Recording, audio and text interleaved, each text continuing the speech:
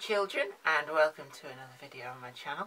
Now first off, I must apologise for the racket that may intermittently come through from next door. That's because our neighbours have hit Control Z on their house and are basically starting again from scratch. Um, so they're uh, ripping tiles off the wall, pulling the plumbing out and just generally making a mess.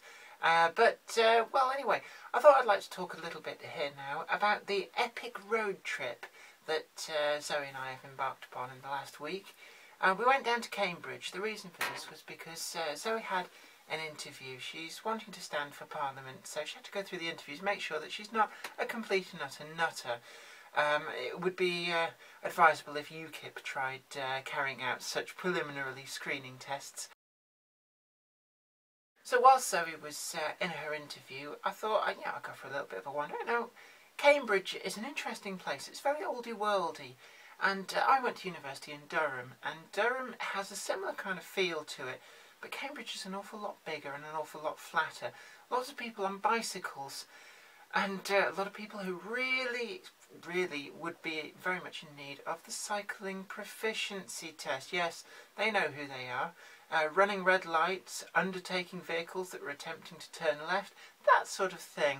You know, lycra louts, or MAMILs, that stands for middle-aged men in lycra. But uh, I went uh, through all the shops. There's a lot of little boutiques and stuff, but I did find Fopp Records. Uh, this name may be familiar to a few of you, but not really to me, because we don't really have one up here. But one of the things that they specialised in was vinyl records. So, uh, as was my want, uh, purchased a few uh, bits and pieces. Some quite nice albums. They had a huge selection. But Empire of the Sun there, their new album. Ice on the Dune, probably shining an awful lot because we got an artificial sun in the studio, uh, but that was one of them. And uh, of course, uh, Amy Winehouse, Back to Black. A lot of people rave about this album, so I thought I'd see what the fuss is about. Actually, it's alright, it's not too bad. Um, and uh, the final one from a group called uh, CHVRCHES. I heard this on Radio 2, or one of their tracks, and I really do like this. Electronic music, 80s style, I do quite like. Although this is a new group, um, although strangely enough, um, as you can see, the stylised logo, CHVRCHES with a V, um, it's actually spelled that on the web address, which is kind of peculiar, but hey. Um, also went through uh, John Lewis's there and Marks and Spencer's, that kind of thing. Lots of overpriced uh, clothing boutiques. But as soon as chucking out time came from Zoe from her interview, we jumped back in the car and uh, we made the pilgrimage down to London to St Margaret's, actually, of all places not helped by the fact that the M25 was shut at uh, Potter's Bar, which really didn't help proceedings because the queue of traffic was allegedly uh, something like 12 miles long. So uh, we headed in on the A1 down to Brent Cross and round the North Circular. A little bit of a mistake really, especially in an old car like mine that's got over 208,000 miles on the clock. Yes, you did hear that right. It's a petrol-engined car, which always seems to amaze the people at any garage I go to that it's still running well after all this time, but sitting in stop-start traffic on the North Circular really did not bode well. So uh, the temperature was running a bit hot and we were getting little puffs of blue smoke when we were pulling away uh, from traffic lights, but uh, nothing that a bit of Redex can't fix. We got down to St Margaret's. Had wonderful takeaway actually. If you are in St Margaret's, I don't know the name of this pizza place, but they do proper stone-baked pizzas for takeaway, and they were absolutely awesome. Stayed over with my sister and brother-in-law who have a house there, uh, because my sister works in television in London. Ooh, whoopie doo. Yeah, she was uh, she was one of the producers for Time Team for about five years. Um, but I had a good time. I met my little nephew Henry, um, who's coming on in leaps and bounds. Oh, I love little children, but I, I couldn't really eat a whole one.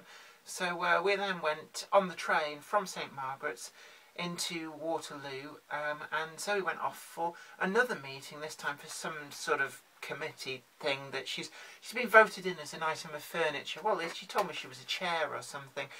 But, you know, each to their own. And whilst she was in this meeting, it was six hours. Yes, that's right, six hours.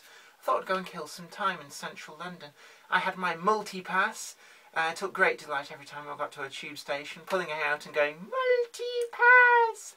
Uh, much to the bemusement of the locals, and uh, probably didn't endear myself in the tube because I talk to people, and they don't like people who talk on the tube. Apparently, we're lower than child molesters if if we talk to people on the tube, but you know, I'm in southern fairies.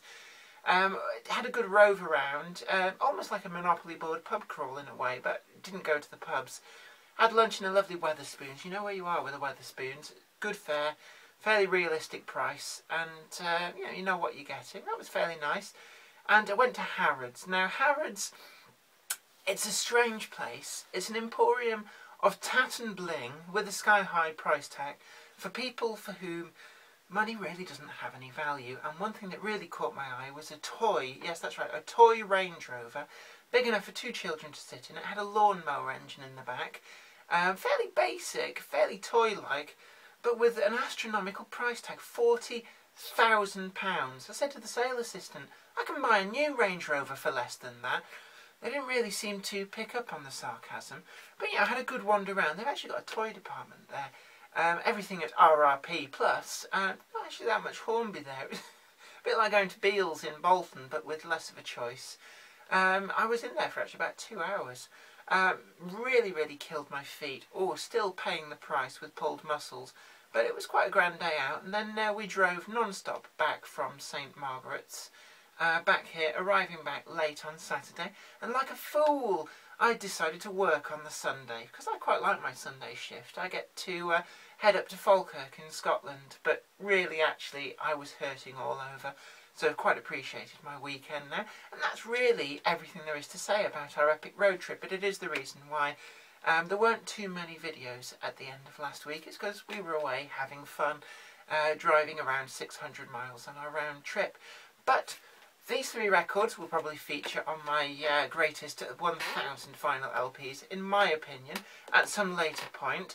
We're going to do some more of those videos, but also we're going to go back and we're going to do what you love. Yes, you do. Well, actually, the view hits do kind of corroborate with this. Some watching trains go by videos, and of course, we're going to talk a little bit, bit more about Bolton Trinity Road in the shed. I think there's a couple of areas I haven't really talked about so we thought we'd do a video on that. And don't forget that Garden Railway extension. It hasn't been forgotten. The brick piers are in there.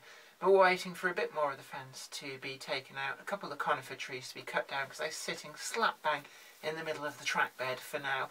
Um, but that will come when the weather improves because it's no fun building stuff in the garden when it's really wet and soggy and horrible. But anyway, don't forget to stay tuned for some more epic videos.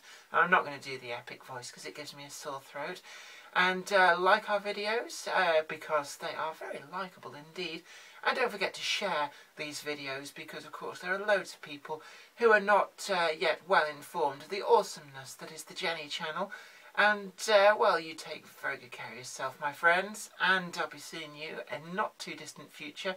Bye for now